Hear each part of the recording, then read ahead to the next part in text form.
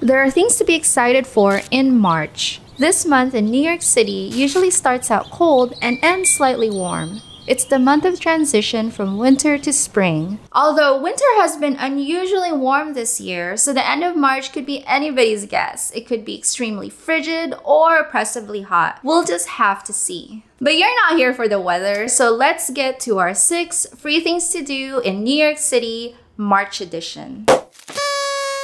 But first, make sure you're subscribed and hit the notification bell so you won't miss all the future free things to do in the Big Apple. Subscriptions go a long way, and so does hitting that like button. Live music happens all year round, all over the city.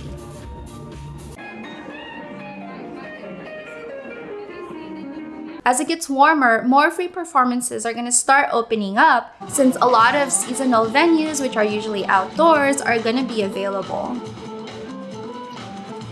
Examples of free live music in the month of March are performances in Industry City. This month, there will be some live salsa music if you like to dance, and since it's March, there will be a couple of nights with Irish music. All three are free. Industry City is in Sunset Park in Brooklyn. The subway lines to get there are the N, R, and D trains. But Industry City is more than just a performance venue. You can shop there from local Brooklyn businesses. And there are some dining options as well. I once went there on a team outing at a previous job. We went to Lilac Chocolate and did a chocolate workshop. And by the way, Lilac Chocolate is the popular New York City chocolate brand. So if you're visiting and you want to bring home some local chocolate, Lilac Chocolate is a popular choice. Since March starts the transition to spring, flowers are going to start popping up. A free display of flowers is at Macy's flagship store, starting from March 26 all the way to April 10th.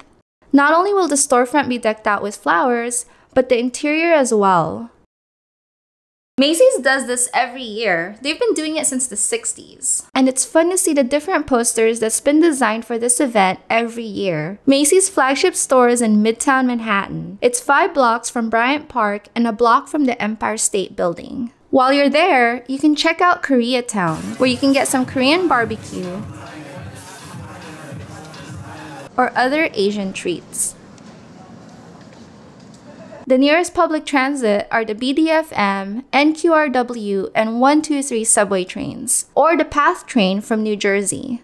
But if the flower display at Macy's just doesn't cut it for you, you could visit the Orchid Show at the New York Botanical Garden. The Orchid Show has actually been open since mid-February and it'll stay open until April. The Orchid Show will be at the conservatory within the New York Botanical Garden. But this is not a free event. While you can get a grounds pass for free on Wednesdays, you still have to pay for the Orchid Show. The New York Botanical Garden is in the Bronx, but the New York subway stations are a bit of a walk from the entrance. We're talking about 15 minutes. Instead, I recommend taking the Metro North that has a station right across the street from the entrance. To learn how to ride the Metro North train, check out this video, link is in the description. St. Patrick's Day is on March 17th, and the popular free thing to do is attend the St. Patrick's Day Parade. The route starts at Midtown Manhattan and ends in the Upper East Side. It marches along 5th Avenue, starting at 44th Street, passing by the famous St. Patrick's Church, and ending at 79th Street. However, in Woodside, Queens, there's another parade called St. Pat's for All. It started in 2000 as a response to the ban of Irish LGBTQ communities from joining the Manhattan Parade. The route starts at 43rd Street and Skillman Avenue and ends at 58th Street and Woodside Avenue. The parade is on March 5th and it's free to join. Link to register is in the description below. Last month, I talked about all the indoor things to do in New York City. But now it's March, and since it's the month where people are emerging from the indoors, it's a great time to walk the city and enjoy some public art. Public art is all over the city, since there's so much invested in public art. And here are some three notable ones. If you are a night owl, you might want to visit Times Square around midnight. From 11:57 p.m. to midnight, over 90 digital displays from 41st to 49th Streets will synchronize to showcase a digital art display for a full 3 minutes. Despite having a bad rep that Times Square is too crowded or too loud, if you're up for it, it's actually pretty fun to hang out at Times Square and just take in all the chaos.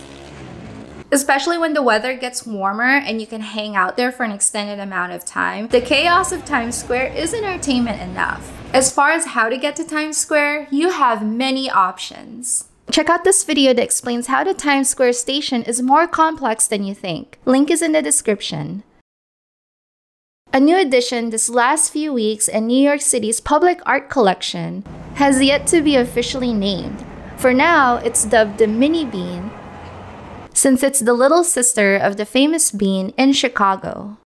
The one in Chicago is officially named Cloudgate, but the one here in New York City has yet to be named and it's going to be named in the following months or sometime this year. And both these sculptures were done by the same artist, Anish Kapoor. The idea behind the sculpture is to use mirrors as a way to disrupt time in a chaotic environment like New York City. It's wedged right under a residential building that locals sometimes refer to as the Jenga building. The Mini Bean is located in Tribeca in Lower Manhattan, at the intersection of Leonard and Church Streets. The nearest train is the 1 train, or you can walk from one of these trains. When walking the High Line, keep a lookout for this mural, which is all about contemporary culture as it depicts elements relevant to today. The High Line is in the Meatpacking District. It runs from around 12th Street near 10th Avenue all the way to 30th Street and Hudson Yards. And the mural can be seen from 22nd Street. The nearest trains are the ACE and L in the Chelsea Meatpacking District or the 7 train at Hudson Yards. If there are any other noteworthy public art that you'd like to share, comment down below. While Manhattan has tons of museums scattered throughout, there's an underrated one all the way in Queens. The Queens Museum has art and education programs for New Yorkers with an emphasis to those living in Queens. While there are exhibits that come and go, the jewel worth seeing that's on extended display is the panorama of the city of New York. This is a giant scale model of New York City, originally made for the World's Fair in the 60s. The scale and size of this model is impressive. And yes, the Queen's Museum is free, but it is advisable to reserve tickets ahead of time. The Queen's Museum is in Corona Park in Flushing, Queens. It's on the second to the last stop on the 7 train. Or you can take the Long Island Railroad. Link to how to ride the Long Island Railroad is in the description below. And when you're done with the Queen's Museum, you can get back on the 7 train and take it one more stop to Flushing Main Street for some dim sum or other cheap but delicious food. Since warm weather is upon us, so is the desire to be more active. But you don't have to break the bank to stay fit in New York City. Just some examples of free fitness things to do in the city are yoga, Pilates, run groups, and boot camps. But outside of these free fitness classes, New York has tons of public parks with all sorts of sports amenities. Check out these videos on some NYC public parks. Links are in the description. Not all sports are completely free, but many are affordable. Tennis, for example, the season pass for a tennis license is about 110-ish dollars, but you get access to all the public courts from March all the way to November. And if you're into team sports, you can join a soccer league, a volleyball league, a flag football league, and even ping pong. I'm super excited for winter to be over and to be outdoors more often. If you're curious on the New York things that I do, like where I eat or events that I attend, I maintain a vlog where I publish not once, but twice a week. Right now, this vlog is on Patreon, but I'm going to set up a YouTube membership here soon. So stay tuned for that. But if you become a member on Patreon, your contributions go directly to supporting this channel and helping it grow. For less than the cost of a New York cappuccino, you can have access to all my extra content and exclusive videos. And for the price of a burrito, you can get your name at the end credits of every video, like these folks over here. So hop on over to Patreon to check it all out. Thank you so much for watching, and until the next video, happy New Yorking!